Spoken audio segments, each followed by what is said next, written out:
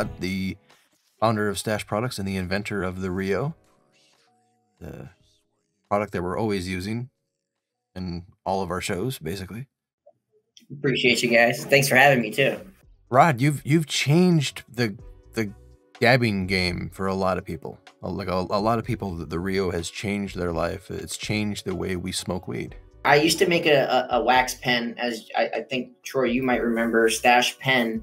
Um, that's what I started off with, and it was really hard to really um, distinguish myself in the crowd because everybody was doing that at the time, and that was a very easy product for people to copy. And um, I got lost in the crowd very quickly, and uh, I wanted to make something that I used every day because when we would go to these trade shows, I, I heard a customer of mine saying we went to my room to hang out and sesh, and I pulled out a torch, I pulled out a rig, and he was like, "Well, wait a minute, you don't use your Stache pen?" And I was like, "Well, I do, but that's if I don't have a torch in my in my rig. Like my torch, I'm a torch guy."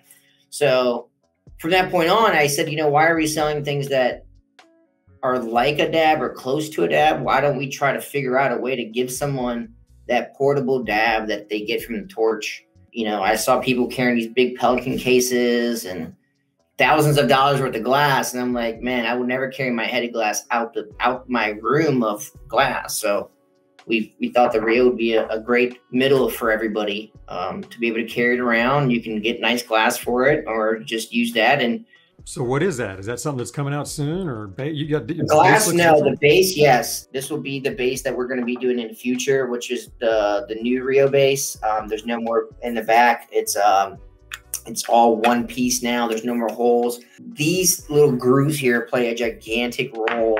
Um, if you, I don't have an old base with me right now, but if you're left or right-handed, if you're holding it like this or you're holding it like this, these grooves allow you to literally the smallest amount will help that thing not fall out of your hand when it's just straight like this. Um, a little bit of water, a little bit of hand sweat could allow the weight to allow the product to fall. Exactly. So, so with this a tiny bit of geometry right here, um, it, I mean, even for like a, a, person that does mountain climbing is kind of where I got the the depth size is. The depth size is really all a mountain climber really needs to hold himself up.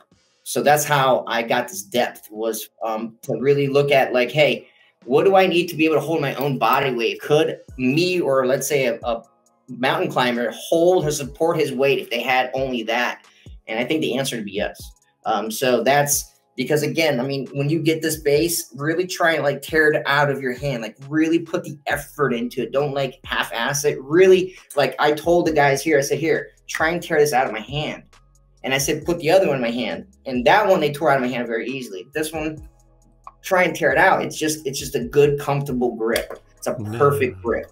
Now so, I'm going to win all the Rio wars, man. I'm going to win them all. Nobody's ripping this thing out of my hand ever again. exactly. So, yeah. And then the, the, tether, we we just added that. You can buy that on the website. It's it works well. It saves mm. the carbs. It's called Save the Carbs. You know, save the carbs. Nice. Because man, people break break carbs. It's it's not even funny because people are coughing when they use the Rio. Um, they cough, and the cough makes the any carb really bouncy and wobbly, especially the older one. It's top heavy.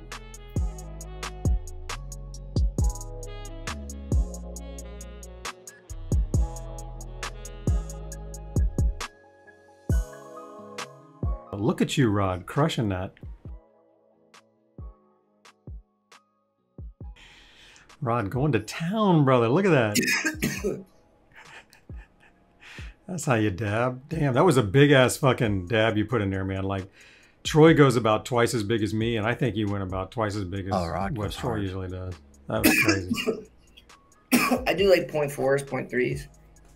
Whew. Yeah, that's my boy. you can you can have those, man. I'll, I'll stay on the smaller side. That's fucking great, man.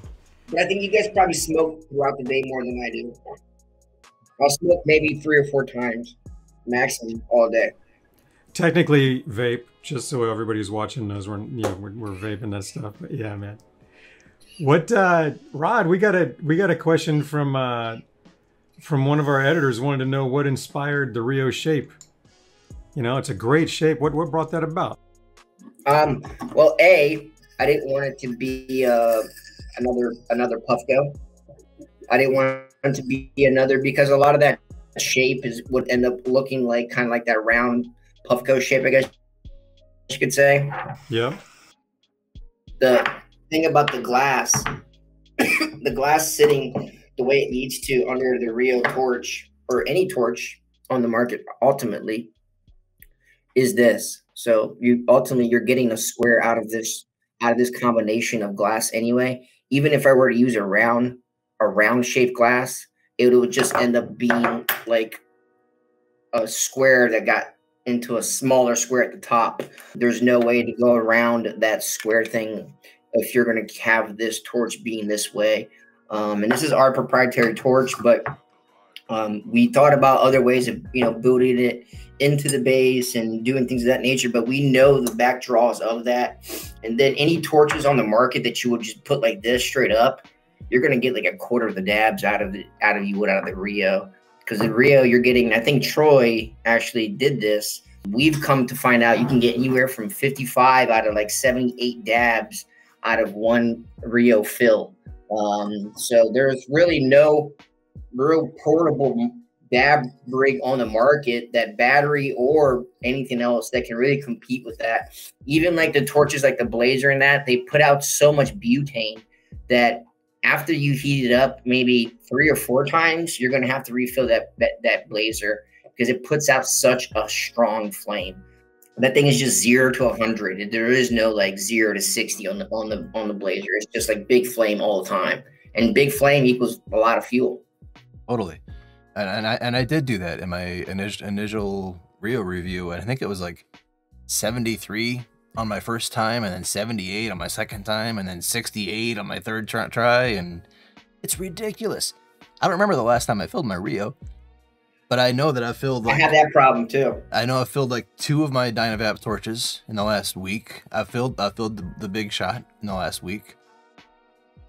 I have that issue all the time, man. I I never remember the last time I filled it. We'll go to a trade show, like you guys know. I'll fill it up as soon as I land. I'll buy a can of butane. We'll go around, give everybody at the show dabs, everybody at the after party dabs that wants to try it and I'm still like, do I even need to fill this thing up again? And then I'll go a second day like that, and then a third day, I'm like, man, I'm ch- chancing it, and I don't fill it up. And then by the time I leave, I use that can of butane one time. It's like five days in Vegas, and it's like, and given like half of Vegas dab, and I still used one one can. I'm the exact opposite. I couldn't tell you how many um, hits I get off this thing. I just know that we use it throughout the day and evening, every single day and night and uh, I fill it up every six to seven days. Oh wow! See, I don't, but see, also too, this is what I tell people. I built the Rio and made the Rio for portable dabs. When I'm at home, what I use every day, all day, is my e-nail, and it's not something I even created. It's not my idea. None of that. It's just I'm I'm I'm a, an efficient guy, um, and I'm about. Hey, I'm gonna put. I just died on Overwatch and I have 38 seconds exactly. I'm gonna run to my smoking room, slap a dab in that junk, get and clean it out real quick, and run back to my controller and like have 10 seconds before the game kicks me out or something. So like I'm all about that. Like if I had to torch it up and do all that, then clean my banger, it's just it's a different process. And so I'm at home. It's a, about efficiency. I keep my e-nail on. Um, I don't ever really use my Rio at home. It's at work or in my car or when I'm traveling. Um, so maybe that might be the difference. But I do use it at work at least. I don't know two two times at least while I'm at work. No, this is my primary at home and out. Honestly, um, if I I have some electrics that I like because I'm I'm a fan. I started off on those until I got the Rio. Like I was an electric rig guy, and then when Troy taught me how to use the Rio, I was like, holy shit, that is another another level. So do you um, do you col- do you clean your banger ever with your torch too? I used to until I started getting all that cruddy, chazzy, white, nasty shit on the bottom, and so I stopped. And now um, I'm using the the dark crystal with just a little bit of heat from the torch, and I haven't had any of that shit build up on the bottom yet. Yeah, I just I just, I just say not to because it takes up so much of your fuel, but um, I used like I'll use a blazer if I ever want to like um, yeah. um, to clean my nail completely. I just don't ever get it red hot ever, just because that's how you get the the white chasings when you get like numerous times of red, red hot hot quartz. is how you get that that white stuff. That's impossible to then uh, Yeah. remove, really. the devitrification.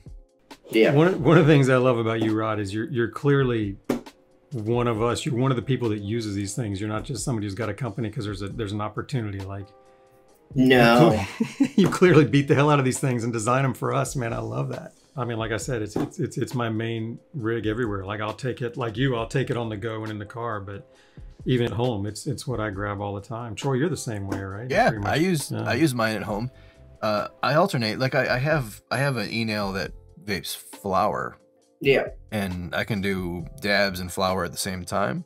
yeah, But I still I still reach for the Rio for for a a dab experience, just because like the the on quartz torching ritual has something to it. Like there's definitely something. beats torch, man. It's dynamic. Like Yeah. every every dab, even if I have the same three grams of, of rosin that I'm going through with the Rio, every dab, even if I'm doing doing them same same size, every dab can be a little bit different. yeah. Just be just because of the the subtle differences in timing with the torch. Yeah. and that's what I don't like like uh, like about electric, unless it's from my e nail. Um, it's the inconsistency. Um, because you know I don't load that 0.3 or 0.4 every time. Sometimes I go smaller, sometimes I go bigger. So that makes a huge difference. You know, torch, it's just me leaving on there a couple extra seconds or taking it off a couple extra seconds. It's that much that big of a difference, you know, and you can't do that with medium heat setting on something, you know. Oh, just put it on blue. Like what? What does that even mean? Like, what do you mean put it on blue, bro? What is that? What temperature is that? Oh, uh, 438. But like, like doesn't that? But that determines like how hard I'm breathing in through it and how much oil should be in that bucket. There's there's so much that goes into temperature of oil in, inside uh, te- uh inside of like the reservoir temperature and the the dab scale tool um, is also my next one too. Um, this is the first dab scale tool on the market as well. Um, something that you can actually you can go in there and do it that way. Um, you can go in this way, um, and then if you do hold it in your hand, um, it, you could have a variance of the temperature of the weight. Um, but if you if all you do is get it weighed out and put it down for one second, it'll beep, and then you can go to directly dab, and you'll get true true true temp uh true true uh weight of what you're dabbing. So then at that point, somebody knows, hey, I'm getting a point three when I go in there because like when you go in there, like you said, you don't know how much Troy's consuming, nor does Troy know how much he's consuming at the end of the day when it comes to oil. Um, and then uh, this tool um, and this kind of thing was actually really inspired by um, people like Fuck Combustion and the people that watch your kind of show because people like me that just kind of go, out as much as my dab tool can hold is how much I dab. How much I dab is like how much you dab, whatever my dab tool can hold. Sometimes I go in twice for that. Um, but some people are like, well, I like to stay in between 0.1 or 0.2, and I'm like, how do you even know that? They're like, I don't, and I'm like, so there's a huge need for that. You guys told me a lot of a lot of your customer base like microdose, and I didn't even know. I thought that was just a mushroom thing. Um, I didn't know that Right. Microdosed uh, THC. So I was like, oh, okay. So there's a and there's a need for that. I think even people that are they're taking one gram dabs, prove it.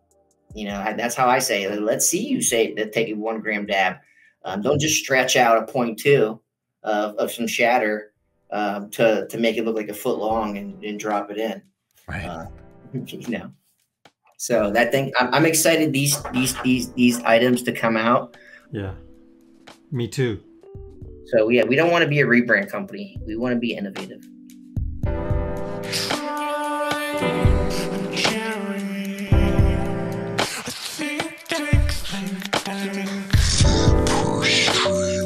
Just what you needed. Glad to hear. What's up, Troy? Happy Friday, Jerry. Good to see you, man.